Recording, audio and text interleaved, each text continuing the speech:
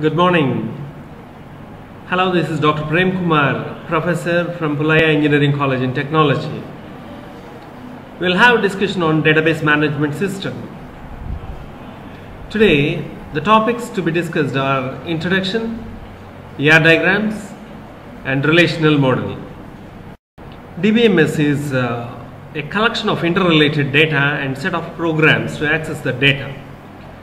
To store the data comfortably, to organize the data, and to fetch the data comfortably, we make use of DBMS, that is Database Management System. The various DBMS applications are Enterprise Information System, that is sales, accounting, human resource management, manufacturing, online retails, banking and finance, university applications, airline reservations, telecommunications, etc. Purpose of database system.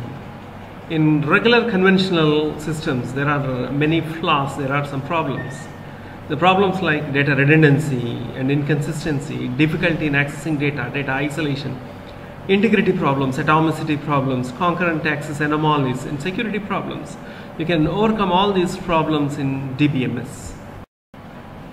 Data models. The data models provides the way to describe the design of the data at the physical, logical, and view level.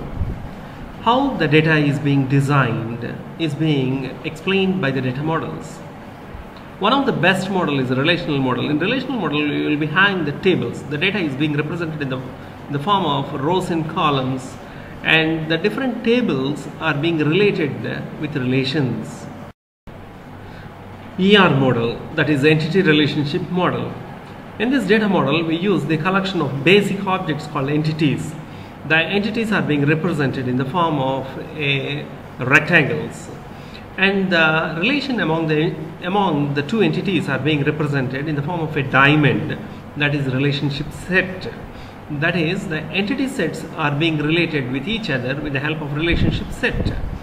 And every entity is being identified with the help of attributes the attributes are depicted in the form of elliptical circles. So the attributes can be depicted with entities and sometimes the attributes can also be given to relationship sets. Object based data model. It is generally this model is generally used for object oriented programmings like c++ java net etc in this the pictorial representation it contains the three parts the first section we show the name of the uh, class the sec second section we show the data members and the third the methods which are used so the three sections comprises the class name, the next section contains the data members and the third section contains the methods which works on the data members. And uh, an object is related to another object. It is nothing but it is an extension of ER model. Semi-structured data model. And coming to this, the different records will be having different attributes. In general in other models all the records will be comprising the same attributes but here it varies. Some records will have some attributes and some other records will be having different attributes. And to show this variation we go with the semi-structured data model. The different sets with different attributes. Xml that is uh, extensible markup language is the best example to depict uh, the semi-structured data model.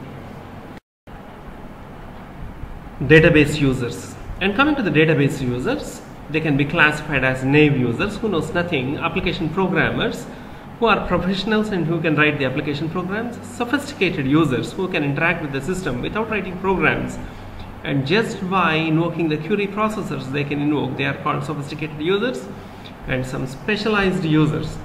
They are sophisticated and they use the database for non-traditional purpose. For a special purpose they use they are called as specialized users. Among the regular users you will be having one administrator. He is called as a database administrator.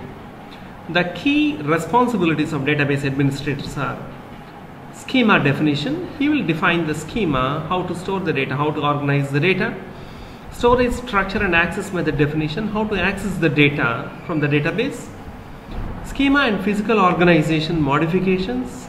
So he is the responsible person for creation of the schema uh, and the physical modifications whatever required in the database granting of authorizations to the data accessing. Who should access what type of data? These uh, authorizations are being granted by database administrator and routine maintenance backup or recovery periodical backup and ensuring the performance and all these regular activities are being taken care by a person called as a database administrator entities attributes and entity sets any object can be represented in the form of entity and the group of entities becomes an entity set. The entities are always represented in the form of a rectangles. The different entities are connected with a diamond symbol which is called as relationship set. The entities are identified by, with the properties which are called as an attributes. The attributes are represented in the elliptical shapes. They are called attributes. So any database and its relations can be depicted with the help of ER diagrams that is entity relationship diagrams, ER diagrams. Thank you everyone for listening to me. Thank you.